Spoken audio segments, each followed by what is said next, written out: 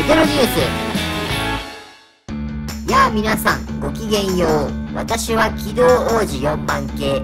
本日はご視聴ありがとう。最近電車に乗ろうと西中島南方駅のホームで待っていたらあることに気づいてしまったんです。え？なんだか気になりますよね。なんと旅客案内表示器が新しくなっているではないですか。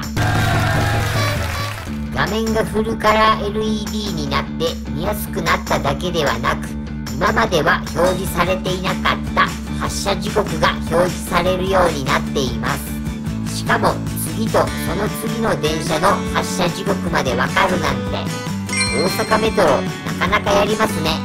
ちなみにこちらが旧型の旅客案内表示器。画面の見やすさが違いますね。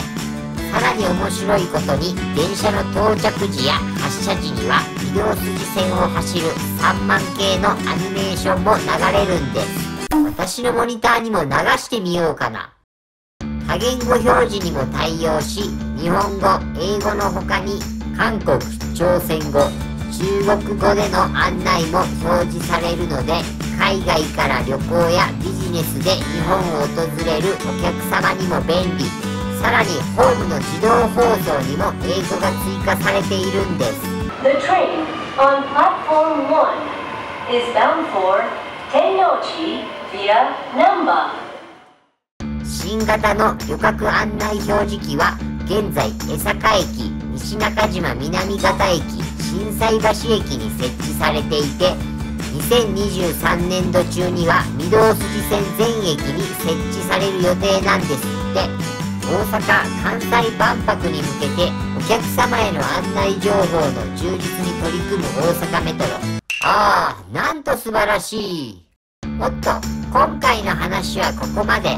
この後はおすすめのお出かけ情報をチェック。それでは出発進行。大阪メトロマニア。本日紹介するお店は玉造筋沿いにあるブレッドコーヒースタンド。レブレッソ本店。食パンは常時4種類を販売。メインのレブレッソブレッドは湯種製法で温かいご飯のようなもっちりした食感。オリジナルのミルクジャムもおすすめです。千日前線鶴橋駅。1号出口より徒歩約3分。さあ参りましょう。最後まで見てくれてありがとう。もしよければグッドボタンとチャンネル登録よろしく。